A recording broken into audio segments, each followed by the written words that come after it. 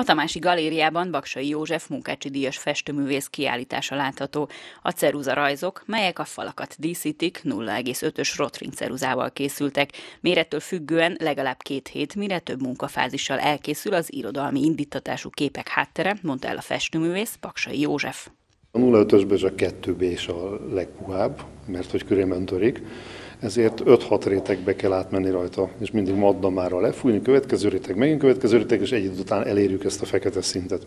De egy kép háttérre tokkal vonul, 3-4 hét alatt már megvan. Először van az, az, az hogy mi, mi fog megszületni, és utána van a megvalósítás. Ez mondjuk az olajképeim azok nem tudtak eljönni, mert egy kicsit nehézkes a szállításuk, de van könyv róluk ott egy-egy olajkép azért egy olyan 40-50 kiló szokott lenni, és hát ott adja magát ez a, ez a előre gondol, gondolkodás, mivel hogy, hogy ott rétegelve kell fölvinni az anyagot, és annak a száradása még több. Tehát általában még azok átszáradnak másfél-két év. És mi, hogy, hogy hogy tudjon haladni az ember, ezért rétegelve előre megfontoltan kell dolgozni. Ezen kívül rengeteg technika van, példaképpen a 29-i Szentendrei új, új műhelyi galériában fametszetek lesznek például, tehát azért mondom, hogy nem, nem ragaszkodok egy stílushoz vagy egy képhez. A kiállítás megnyitott az Alapfokú Művészeti Iskola szakszofon triójának játéka tette még ünnepélyesebbé.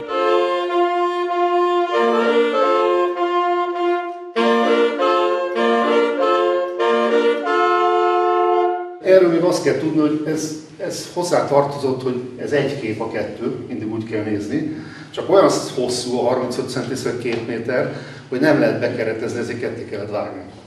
A keretező az fogta a fejét, amikor bevittem, hogy mit képzelek, hogy ekkora és két méter. És ez azért volt így ez a, ez a, ez a méret, hogy bal sarkában egy szimbólum, kos áldozati. Ugye a bárány az Agnus Dei, az Isten áldozat. A gyerek megint csak áldozat a szerzetes, megint csak tehát áldozatok, és szembe velük a világnak a rosszassága, a fegyverek, valami, és köztük a nagy sötétség.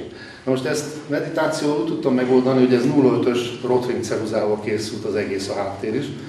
6-7 réteg van egymásra rétegelve, mert csak kettő bést lehet kapni a rotring ceruzából, ami még csak szürke. Na most amikor ezt lefúj az ember egy matlak, matlakkal, újra rámegy, az már kezd alakulni. Mikor a hetedik, nyolcadik réteget nyomja, akkor ez fekete. Úgyhogy hihetetlen mennyiségű rotring ceruza fogy el.